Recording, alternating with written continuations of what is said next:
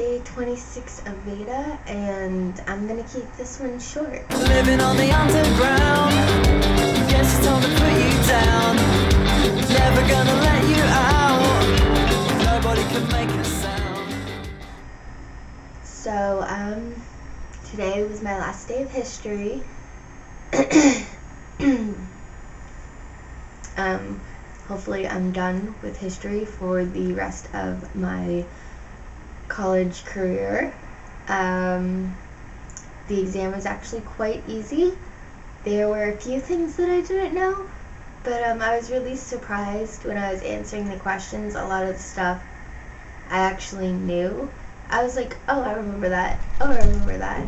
So, um, yeah, I was glad to get done with that. I took the first of two tests for biology. So on Thursday, I have a final comprehensive exam in um, concepts of biology, and then I have a probably 10 question test in marriage and family.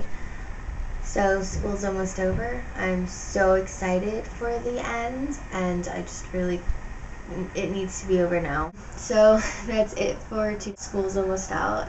So um, yeah, Glee is on, so I'm gonna go watch that, and I will see you guys tomorrow. Bye.